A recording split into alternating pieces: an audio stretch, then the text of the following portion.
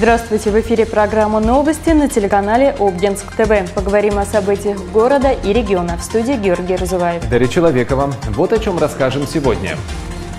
На базе НПО «Тайфун» прошло расширенное заседание ученого совета. В АТ состоялся 10-й юбилейный выпуск специалистов медицинского факультета. Чтобы оставаться в тонусе, стартовала летняя смена биошколы Олимпийского резерва. В развлекательной форме байкеры объясняют детям азы поведения на дороге в целях безопасности.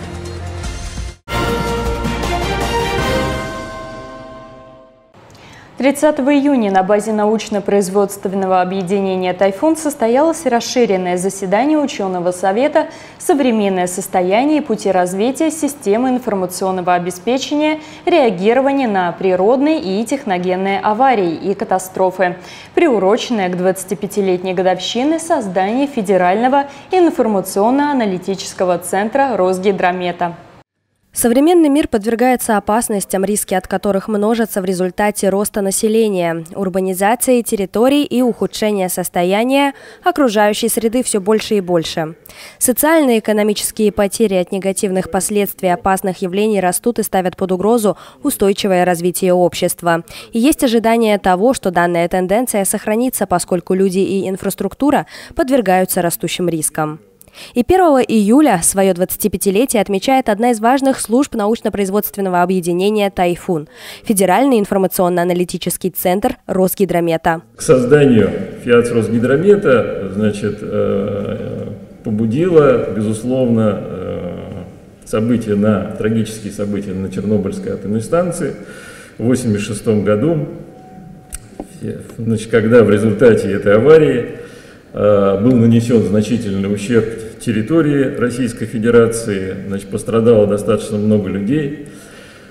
К сожалению, сказать, часть из них скончалась. Значит, в эти дни в МПО «Тайфун» значит, постоянно работала группа под, назв... под руководством Владимира Андреевича Борзилова, которая готовила прогнозы изменения ситуации, связанные с выбросами, которые, как вы знаете, происходили достаточно длительный период времени. На основании подготовленных прогнозов в наиболее опасные зоны направлялись группы дозиметристов, чтобы подтвердить реальную угрозу населению. Участвовали в этой большой работе программисты и технический персонал вычислительного центра «Тайфуна». Становление и развитие коллектива Федерального информационно-аналитического центра Росгидромета, входящего в состав НПО «Тайфун», это показательный пример целенаправленности целенаправленного решения задачи информационной поддержки действий, направленных на защиту человека и природы в чрезвычайных ситуациях, обусловленных загрязнением окружающей среды. Были развернуты работы по созданию уже сказать, э, специализированного подразделения.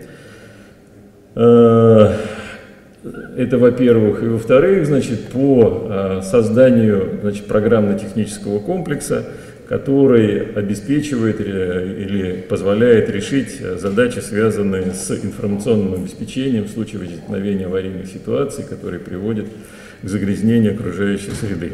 Федеральный информационно-аналитический центр – это организация, обеспечивающая предоставление информации в рамках Российской единой системы предупреждения и ликвидации чрезвычайных ситуаций ситуационному центру Росгидромета.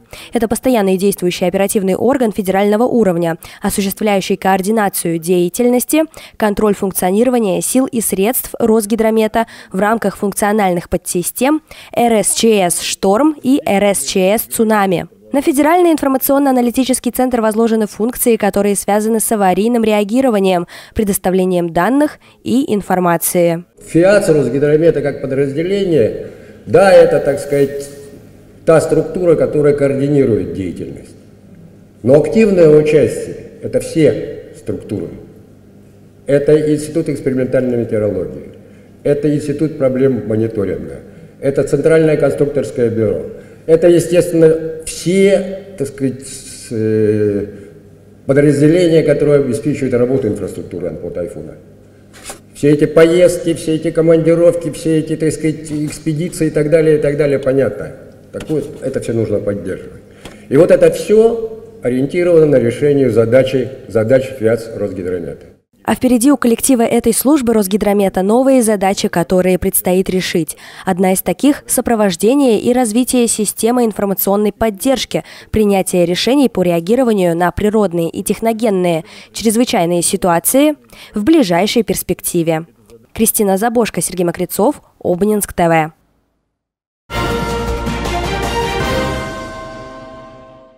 30 июня в конференц-зале МРНЦ состоялся выпускной медицинского факультета Обнинского института атомной энергетики.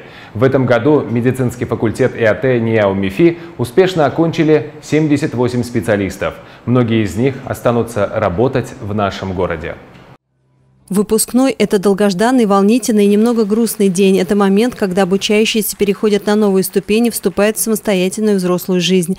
Из 78 выпускников медиков и АТ 12 студентов получили диплом о высшем образовании с отличием.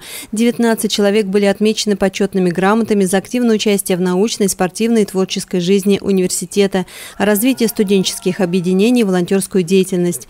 Поздравить выпускников в зале МРНЦ имени ЦИБа собрались не только родители, руководство руководство вуза, преподаватели медицинского факультета, ну и почетные гости. Ядерная медицина, которая будет бурно в ближайшие годы шагать по всей стране, она должна быть оснащена врачами, физиками, специалистами, которые понимают, что такое физика и что такое врачебное дело. И я вас уверяю, что Страна вас ждет.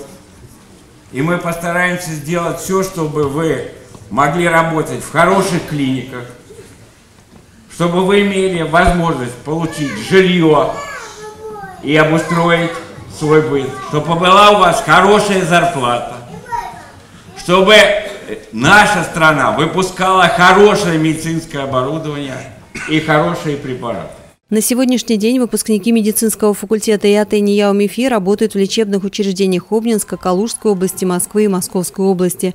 Знания, полученные в стенах родного вуза, являются актуальными и позволяют выпускникам быть востребованными в любом направлении. Подготовку студентов по профильным дисциплинам на факультете ведут 10 докторов и 20 кандидатов наук. Вы очень востребованы, вы очень нужны.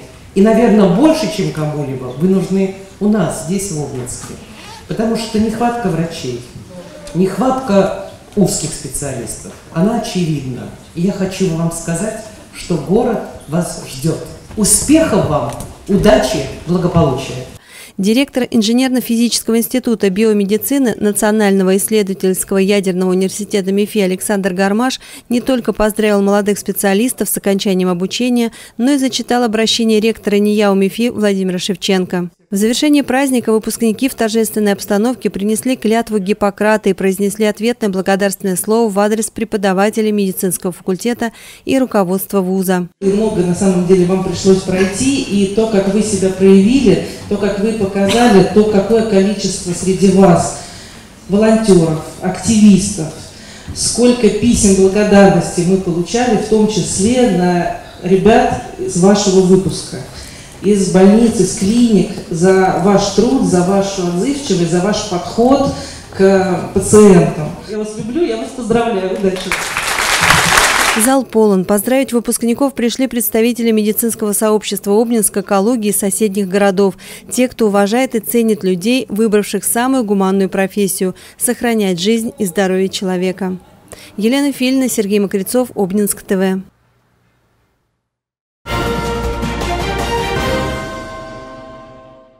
29 июня на базе Обнинского санатория «Сигнал» состоялось торжественное открытие очередной летней смены биошколы Олимпийского резерва. Юные биологи Калужской области в рамках оздоровительной кампании будут не только отдыхать перед началом учебного года, но и получать новые знания. Ребят ждет теоретическая и практическая подготовки к региональному и заключительному этапам Всероссийской Олимпиады школьников по биологии и экологии.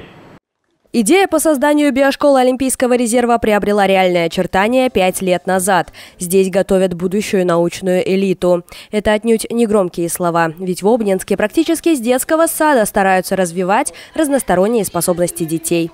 Тем, кто стремится к знаниям и хочет достичь вершин, предоставлена такая возможность. Таких детей, стремящихся покорить вершину естественно-научного направления, в первом городе науки немало.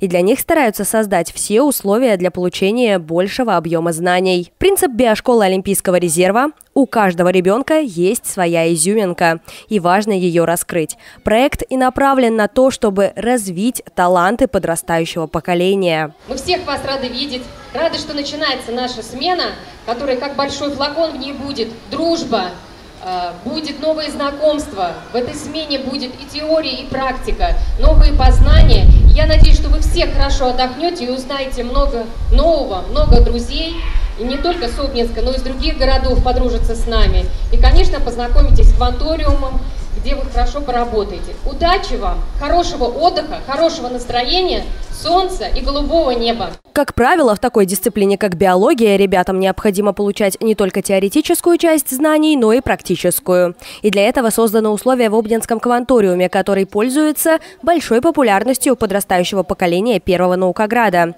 А детям из других городов Калужского региона, которые впервые попали в биошколу, предстоит познакомиться с новшеством в системе дополнительного образования. Хочу сказать, что все вы, конечно, вне от того, какой отряд у вас покажет лучшие результаты, в каких конкурсах и в каких заданиях вы себя лучше проявите, вы уже все победители, потому что только самые настойчивые, самые мотивированные могли выбрать лето в жару, э, заниматься в лабораториях, ходить э, на занятия. И здорово, что вы с таким настроем уже в школе.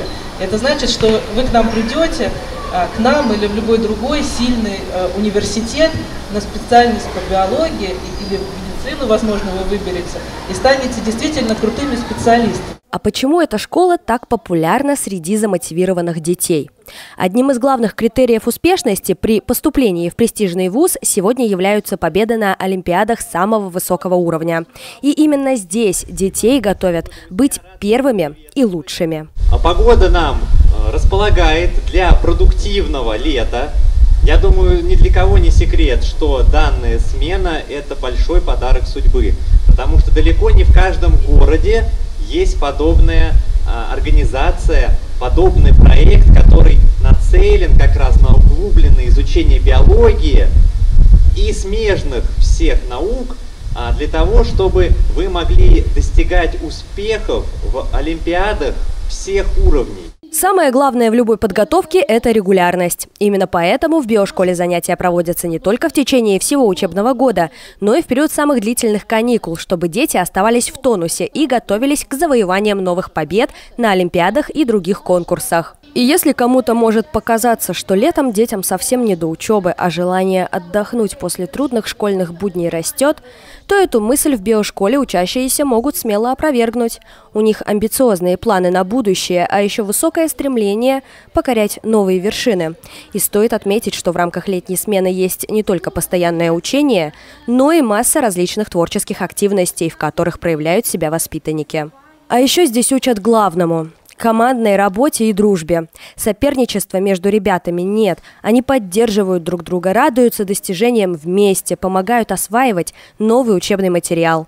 И атмосфера в санатории «Сигнал» в дни летней оздоровительной у юных биологов уютная и даже, можно сказать, семейная. Кристина Забошка, Сергей Мокрецов, Обнинск ТВ.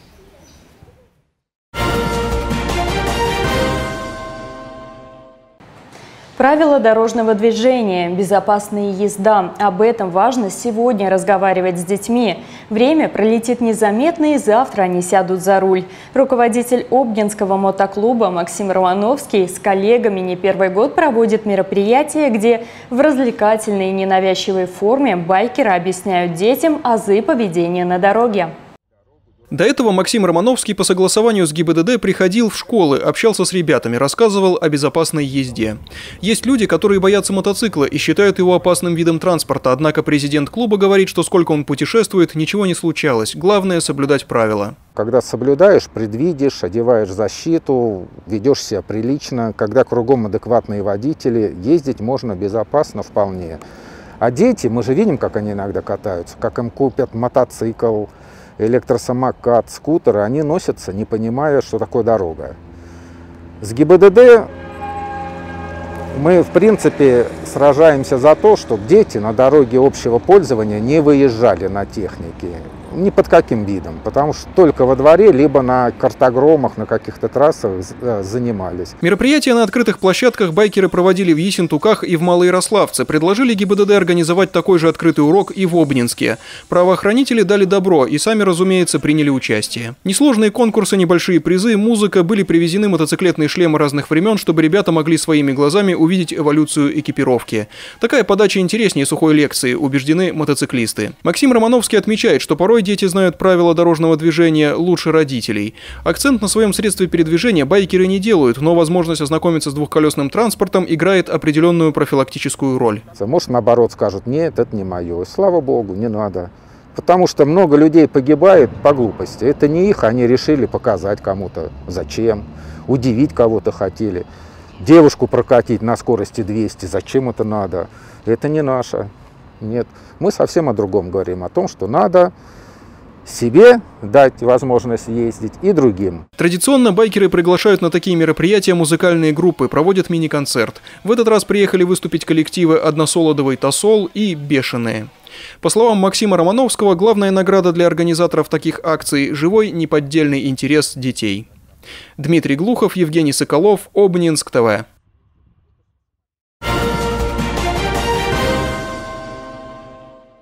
Это все на сегодня. Следите за нашими новостями в группе Обнинск онлайн, ВКонтакте, Телеграм-канале, а также на YouTube-канале. Об интересных событиях в Наукограде и окрестностях расскажем в очередном эфире программы «Новости», которая выходит по будням в 19 часов. До понедельника.